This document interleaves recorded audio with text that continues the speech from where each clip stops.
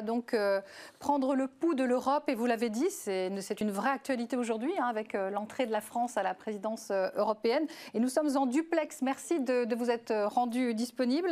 Nous sommes en duplex avec Ilana Sicurel, qui est une ambassadrice, on peut l'appeler comme ça, ambassadrice du, du mentorat en Europe, députée européenne, bien sûr. Merci d'être avec nous. Bonjour.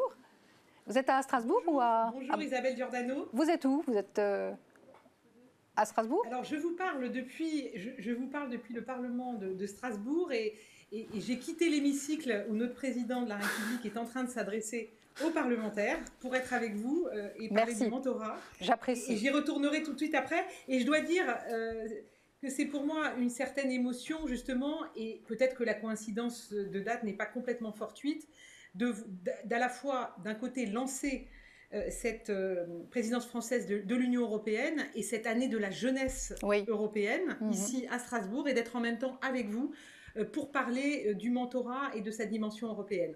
Et, donnez-nous un peu votre point de vue. Vous l'avez peut-être entendu avec Christophe et Thibault, mais donnez-nous peut-être le point de vue européen sur le mentorat. Pourquoi est-ce que c'est une ambition européenne? Pourquoi c'est un enjeu, d'après vous, dans l'Europe d'aujourd'hui? L'Europe, vous savez, et surtout en, matière sociale et éducative, se bâtit sur les bonnes pratiques des pays. Et là, euh, laissez-moi un instant être fier euh, de ce que nous avons pu faire en France. Euh, comme vous le savez, le président de la République a annoncé le 1er mars en Seine-Saint-Denis un plan sans, précédent, un jeune, un mentor, ça a dû être évoqué j'imagine, et, qui euh, est pour moi un, plan qui peut avoir valeur d'exemple pour l'ensemble de l'Europe. Donc, et il y a plusieurs pays, comme l'Espagne notamment, et d'autres, qui ont déjà développé des pratiques de mentorat.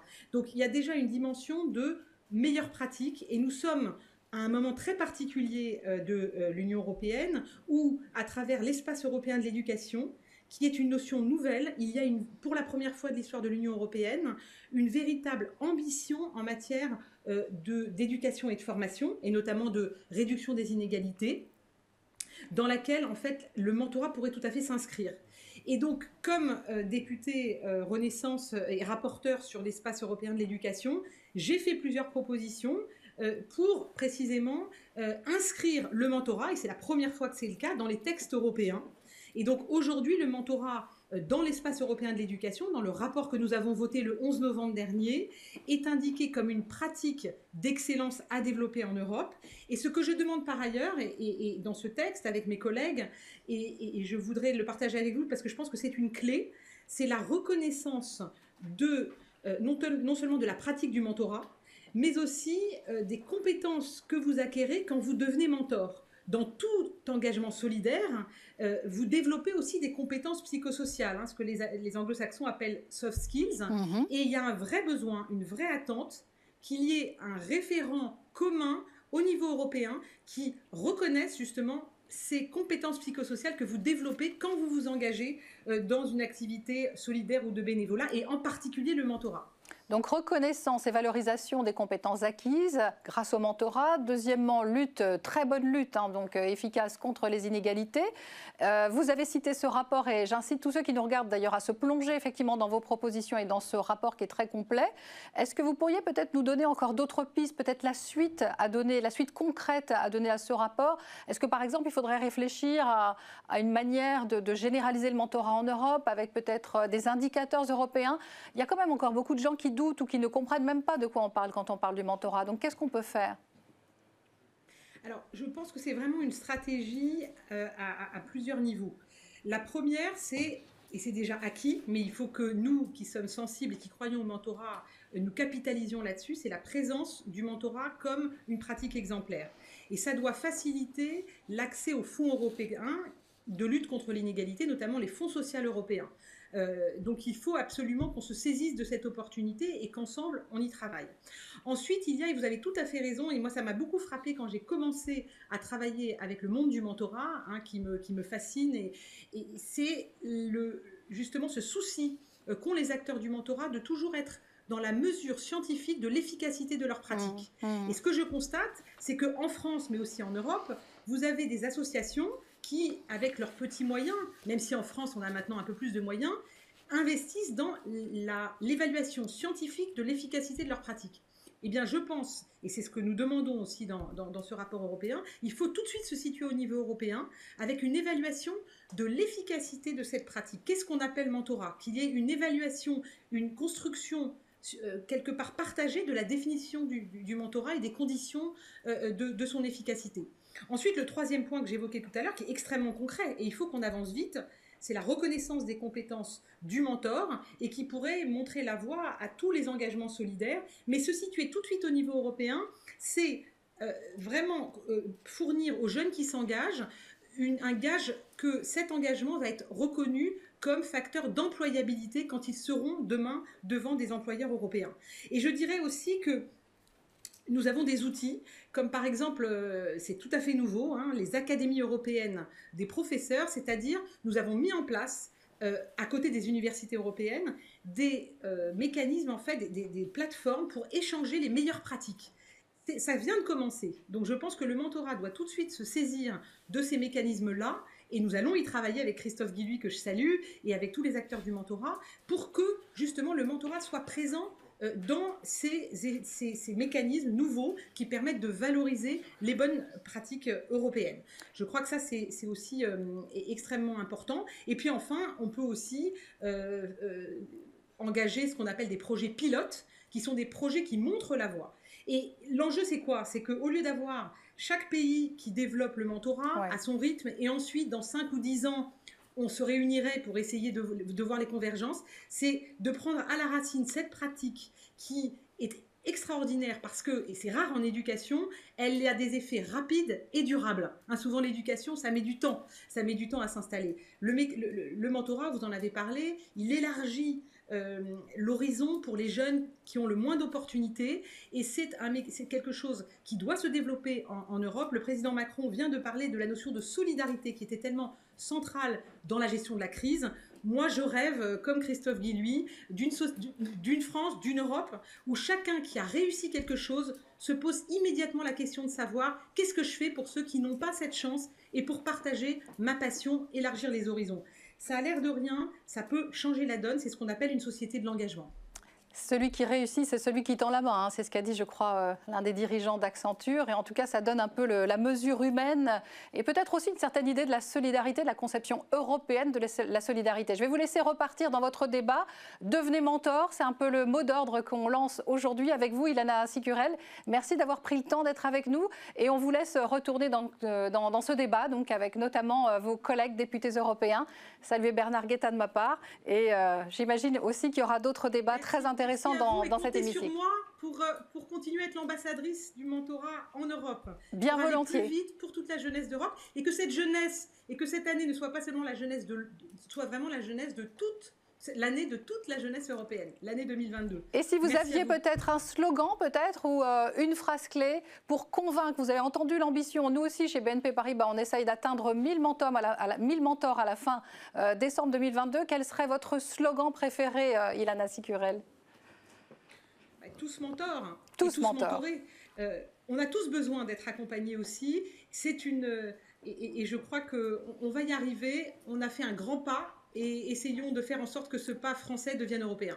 Très bien, merci beaucoup. Une réaction peut-être de Christophe Paris et Thibault Guilly sur euh, ce qu'on vient de se dire? Cette ambition européenne, ça vous porte, ça vous aide peut-être à, à, déployer le message du mentorat? Oui, moi je pense que là, donc je vous déjà remercier euh, Ilana qui, qui, nous accompagne depuis le début. Et, euh, voilà, les, gens qui sont là depuis le début, qui croient depuis le début et qui font qu'on en est là aujourd'hui, ça compte pour nous. Et donc Ilana compte dans, l'histoire de. Voilà, euh, bah, vous avez dans, votre mentor. Dans, l'histoire du, du, mentorat.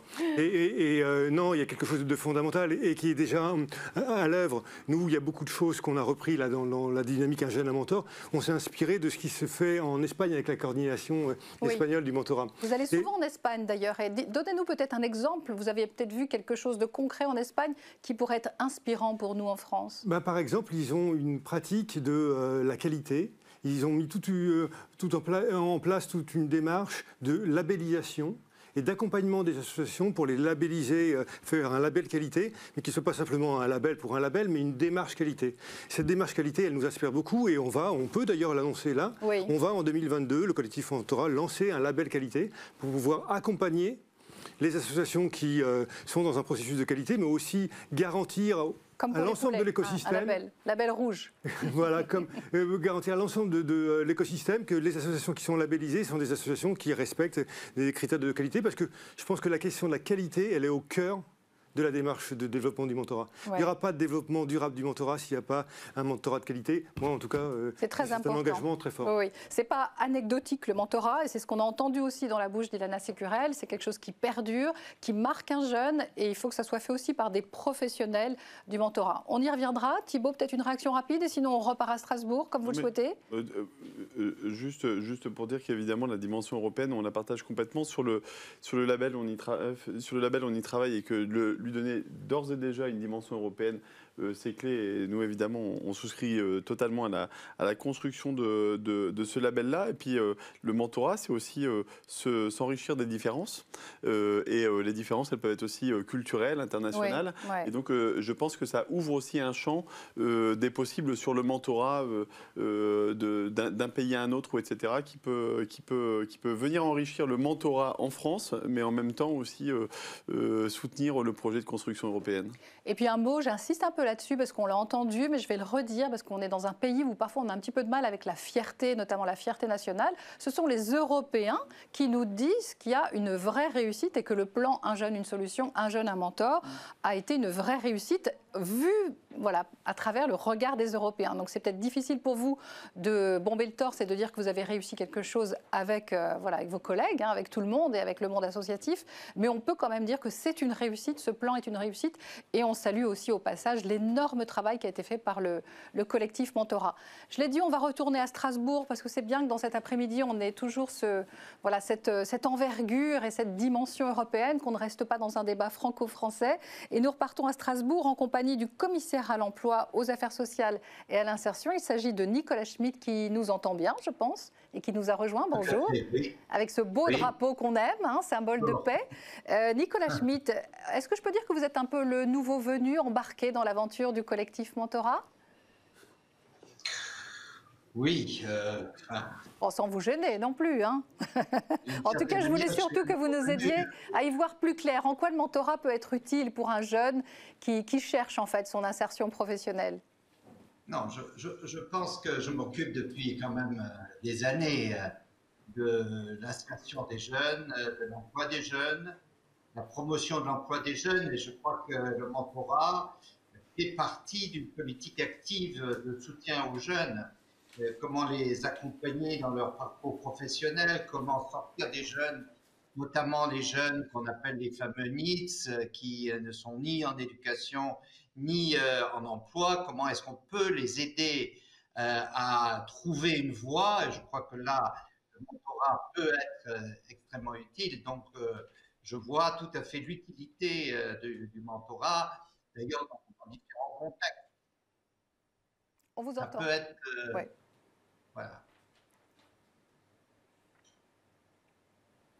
donc euh, voilà, je ne suis pas sûre d'avoir entendu la fin de votre phrase, mais en tout cas, on a compris l'essentiel. Et, peut-être que je, voudrais mieux comprendre aussi avec vous et avec euh, ceux qui nous écoutent. Vous m'entendez bien? Il y a un terrible écho. Il y a un écho. Alors, je vais faire une phrase très courte. L'impact positif hein, sur, euh, sur l'insertion professionnelle, est-ce que vous l'avez constaté? Est-ce que vous auriez un exemple à nous, à nous donner?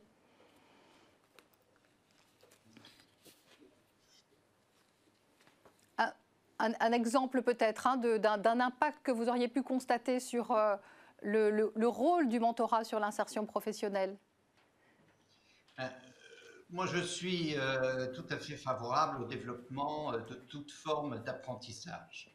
Et je crois que pour que l'apprentissage soit une réussite, il faut un rôle important au, euh, au, mentorat. Donc euh, l'apprentissage sans mentorat, sans l'appui aux jeunes, ne donne pas les résultats les, plus importants, les, plus, les meilleurs. Donc je crois qu'avec avec l'apprentissage, le développement de l'apprentissage, il faut aussi développer le mentorat. C'est du mentorat dans l'entreprise, dans les, les enceintes où sont former des jeunes, je crois que ça, euh, le mentorat est un, élément essentiel de la formation des jeunes et surtout la motivation des jeunes aussi, de, pour leur ouverture vers euh, un certain nombre de, parcours professionnels.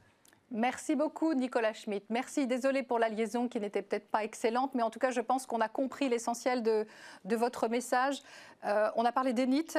Rappelez-moi, de mémoire, ils sont à peu près un million en France ou un peu moins?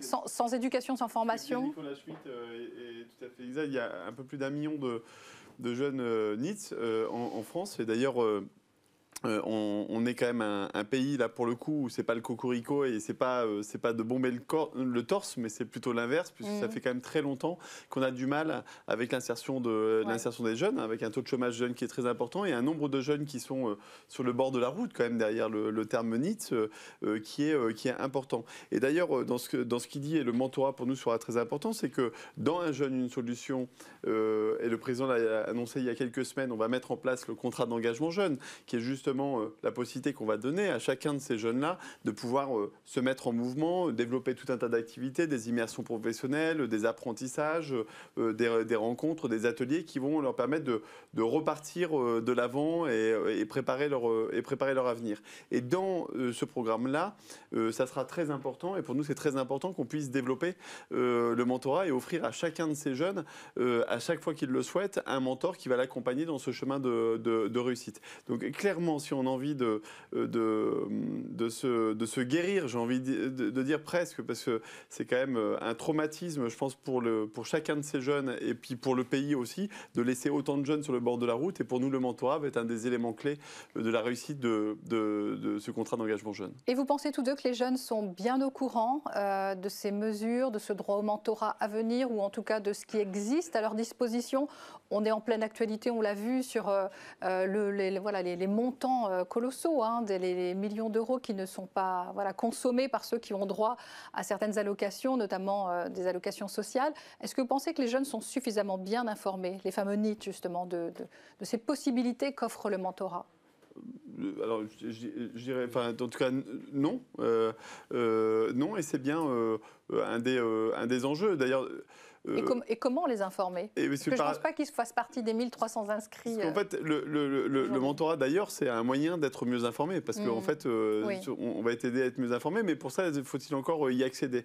Et donc, c'est là où, un, d'abord, on a, on a certes les outils numériques qui, qui le fait de, développer des plateformes et puis de rendre facile l'engagement est une chose. Mais la deuxième chose, après, derrière, c'est la, la, communication. la communication adaptée pour faire en sorte que le mentorat, qui était quand même quelque chose qui était assez euh, assez discret quand même comme, comme, euh, comme type d'action, bah, euh, en devenant une politique publique citoyenne, bah, qu'elle soit portée dans les écoles, dans les missions locales, dans les associations, avec le gouvernement, avec les entreprises, avec les associations, pour démultiplier les points de contact et d'information là-dessus. Donc on a une vraie stratégie avec le plan Un jeune, un mentor de communication là-dessus. Et puis le dernier point, c'est qu'il ne suffit pas d'informer les, les, jeunes, il faut aussi qu'ils se disent que c'est pour eux.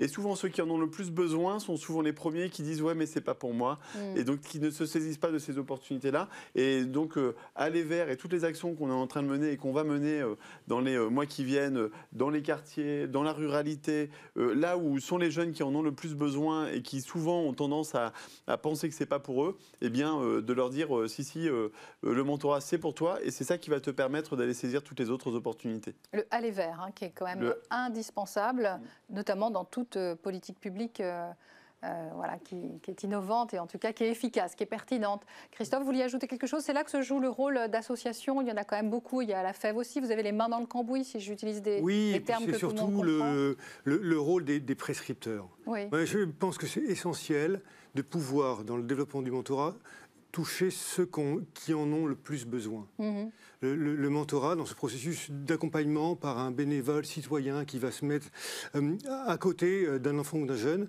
Comment on touche ceux qui en ont plus besoin? Oui, mais bien souvent, ils sont dans l'autocensure. On l'a vu notamment dans l'accès à la culture avec le pass culture. ceux qui avaient le plus besoin de culture étaient ceux qu'on avait le plus de mal à toucher. On y arrive finalement, mais effectivement, c'est votre enjeu. Le, le lien de nos associations avec les prescripteurs, avec les enseignants, avec les missions local, avec les plans emploi, avec les éducateurs, avec euh, toutes les, les, intervenants dans l'aide sociale à l'enfance, par exemple, ou dans les associations sportives. Il y a un certain nombre de, personnes qui sont en connexion. et de l'information. Voilà, et de le dire, d'être en contact avec eux et de faciliter l'inscription après des jeunes. Et c'est vrai qu'après, il y a un levier qui est très important, le mentorat. Quand on accompagne, euh, une fois, euh, quand on accompagne les jeunes, euh, le mentor est en capacité de pouvoir après aider le jeune à pouvoir accéder à un certain nombre de ressources. Mm. Parce qu'il existe, et c'est bien en France, beaucoup de ressources. Mais il n'y a pas toujours de connexion entre les ressources et ceux qu'on a besoin. Et le, mentor, il est là pour ça. Et, donc là, c'est aussi pour ça que, que, je suis convaincu que le développement du mentorat, c'est aussi un écosystème. Ce n'est pas l'État, ce n'est pas les associations, c'est ensemble, voilà comment on arrive à construire, et notamment sur une approche territoriale. Mm. La question du, territoire est aussi un élément important. Et puis la bonne nouvelle, c'est qu'on est aussi dans un contexte où on sent que de plus en plus de gens, notamment des salariés d'entreprises, sont à la recherche de sens et ont envie de donner de leur temps. Donc c'est sans doute une bonne nouvelle, une des bonnes nouvelles en tout cas de, l'après-midi, en tout cas pour vous. Je voudrais maintenant euh, vous présenter une personne, si vous ne la connaissez pas, une personne dont on me dit euh, qu'on ne parlerait certainement pas de mentorat comme on le fait aujourd'hui si elle n'avait pas existé. Elle s'appelle Sylvia Simon, elle est l'ambassadrice du mentorat en Europe et depuis plus de cinq ans à la tête du Centre européen du mentorat Mentoring Europe. On écoute la parole de Sylvia Simon. J'espère que je prononce bien son nom sans l'écorcher. Hello everybody. Thank you for inviting me for this video message at your mentoring um, conference in France. My name is Sylvia Shimon and I'm community manager of Mentoring Europe. And I'm here to tell you today about the growing mentoring community in the continent of Europe. Um, first of all, to tell you more about our organization, which is called Mentoring Europe. Uh, it is a name that we chose some months ago to change it from the European Center for Evidence Based Mentoring an organization that we founded in 2016 in the north of the Netherlands, together with, with powerful mentoring practitioners, researchers, and other organizations in Europe. Um, we are a network organization, what you would also call a grassroots organization, that was there for practice, for research, and as we call, for everybody as friends in mentoring Europe. And at the moment, we connect a network of some 1,500 people. Very proud of it. I think many of you are also a part of this community and of this network, or perhaps you even participated in one of our events or follow us on our newsletters. The goal of our organization, Mentoring Europe, is to improve mentoring in our field and to increase the field as well. So, to encourage people to do more with this beautiful instrument and to apply it in their work across any sectors and fields and initiatives in different countries. Um, and ultimately, is our goal to lead mentors and mentees to the desired impact that they choose for within their mentoring relationship. Um, how we do that, we, uh, we mainly connect people, practitioners to practitioners, practice to research, we connect to policy and decision makers to lo- learn more about their work and also to learn how to connect to solving social and economical challenges all over Europe. Um, I'm not sure how long you have been in the mentoring field yourself, and if you have taken a look at beyond the borders of France, but perhaps you have seen that mentoring is a really growing movement all over. Basically mentoring as an instrument has been there for more than 20 years in the different countries. And um, what you will also see is that it's an increasing movement especially since the growth of immigration and the arrival of, of, of refugees and immigrants in the different countries. So that's when mentoring as an instrument really gained in a, a boost and you will also see that the mentoring field is very diverse just like around you you will see NGOs, you will see um, businesses setting up mentoring programs, you see uh, universities, educational institutes running mentoring programs, even elementary schools, corporates, chambers of commerce. You will also see that mentoring is very diverse in size. There are small, very small entities just matching 10, 20 uh, people to mentors, and they're also mentoring organizations matching thousands of people and being in bigger structures. Um, that is also a possibility, of course. Um, you also see that mentoring is there to solve a very diverse um, range of social and economical challenges. There are mentoring programs to prevent school dropouts or to create better educational pathways. There are mentoring programs to increase the entrepreneurial spirit of young people or immigrants or anybody else. In Europe, there are people setting up mentoring programs to enhance the integration of migrants in Europe. Um, so, very diverse. And um, what we also see in Europe, very interestingly, is that many mentoring programs didn't know about each other due to a language barrier because mentoring was not even called mentoring for many years. Very recognizable, I think, for you as well. Uh, that different languages, different cultures use different words for the concept of mentoring. In the past years, more and more people do use the term mentoring, so it's easier to connect to each other, to learn, to set up collaborations, and to innovate together. So that that's that's very positive. Um, above all, a big cheers to you guys in France creating this new boost to the mentoring movement in your nation, which we do follow, of course. And you see, uh, we see an, an uh, incredible increase in your reach and your ambitions. It's a, you guys are really a, a, a role model to many other countries how to apply mentoring on a broader scale and give more young people or more people the chance to get closer to their ambitions and goals and feel empowered to reach their ambitions for the future. Um, I would also like to ask you to uh, join our network and to follow our activities uh, in order to to reach our goals of connectivity and improvement and increasing our work in all the different countries. We have a two-yearly European Mentoring Summit. It is coming up in May, um, 18 to 20 May most welcome to join us to bring your knowledge to enroll for a session or just to join and be there. It's going to be a hybrid event, physically and online. Uh, we also have a newsletter that you can follow so that you see what different countries do in the field of mentoring, uh, so that you can connect to others and set up possible collaboration or just exchange tools and ideas amongst each other. We also have different committees. We involve researchers and practitioners to be able to connect our work and to learn under which condition mentoring works for best. We also have an advocacy committee to set up activities with the policy and decision makers so that we learn how to influence policy making and be able to give an answer to all the challenges around us. So I wish you a very powerful day today to be there to learn, to connect, to gain new ideas, and to inspire others. And um, hopefully we see each other in the future. Bye bye. Bye bye and thank you. Merci beaucoup Sylvia Shimon. Et effectivement, euh, j'aime beaucoup le concept hein, de journée puissante, hein, comme il existe des femmes et des hommes puissants. On reprendra cette, euh, cette expression. En tout cas, euh, Sylvia Shimon qui vient de s'exprimer est vraiment l'un des piliers qui font réellement avancer le mentorat, la cause du mentorat en Europe.